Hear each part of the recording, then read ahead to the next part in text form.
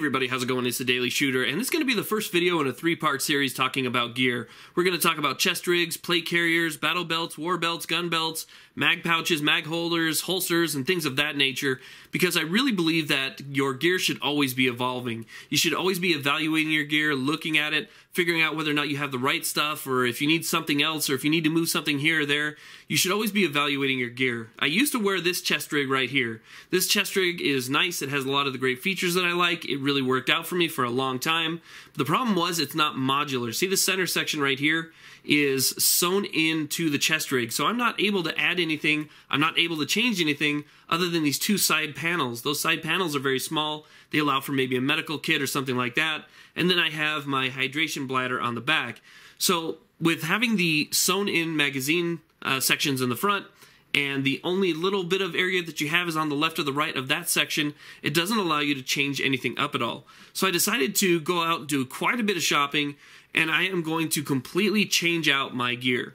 Change out my gear meaning I'm going to make it slimmer, faster, easier to use, and it's going to have a lot of uh, great features that I didn't have before using just a standard chest rig with the plate carrier. Now, as you can see, my plate carrier has nothing on it. It's just blank, and we're going to go ahead and change that today. That's actually what this video is going to be for. We're going to work on the plate carrier today. You're going to notice here that I have a battle belt, I have a gun belt, I have several magazine pouches. A lot of the stuff you're going to see here is Condor, and that's because I'm actually a big fan of Condor. I've used Condor for several years, and I've never had an issue with it. The price is just right, and as you can see, the table's pretty full. I have a new uh, MOLLE attachment for my Serpa holster, and that's uh, going to allow me to, you know, attach my holster to my new battle belt.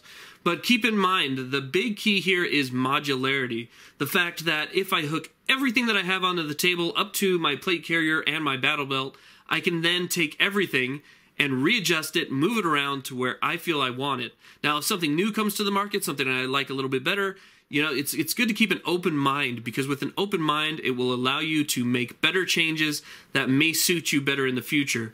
Now, the plate carrier that I'm using is just a Condor Sentry. It's very plain, it's very simple, it's very lightweight, and that's how I want to keep it.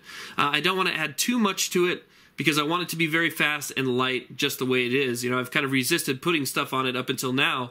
But again, I like the modularity. So what we're going to do is we're going to add this Condor 3 magazine pouch to the front of it. It only holds one magazine per pouch, so it'll still be very nice and tight to the plate carrier. We're going to get that set up, and then I'm going to add this uh, Voodoo Tactical uh, hydration pouch to the back. I live in the desert. It's very, very important for me to have water. It gets up to 115 degrees, especially when you're wearing gear like this. So hydration is definitely a big issue. But that's it. We're going to go ahead and work on this plate carrier today, hook up these two things, and we'll see how that turns out. Because modularity is definitely key. Remember, evolve your gear. Listen to what people have to tell you. There's a lot of good information out there. Don't just listen to me. Now, I basically started off with a blank canvas. You know, I just had a plate carrier. It didn't have anything on it except for a couple morale patches. And now I've added the ability to have extra ammunition, extra magazines, hydration on the back, which was definitely up there in my list of priorities for setting up new piece of gear. I have to have hydration out in the desert. So this is basically how my gear has evolved to fit me, to fit my needs, to fit my environment. So that's something that I really wanted you guys to think about. That's really why I made this video was to kind of get people's gears thinking, to, to take out the things that you own and reevaluate them and look at them. Now another thing I want to talk about is the use of Condor gear. You know, that's one thing that I hear a lot of people have, but people kind of stay hush-hush about it.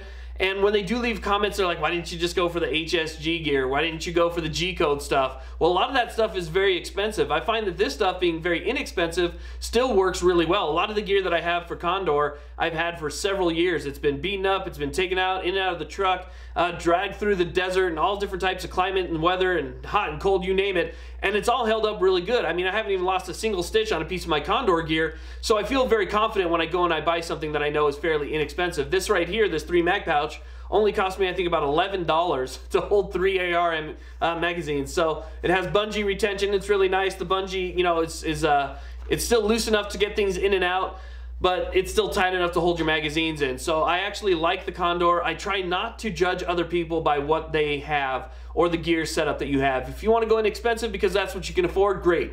If you want to get the best possible gear that's out there and only run the best, good. If you want to have something that's completely different than mine, I don't criticize as long as you have it.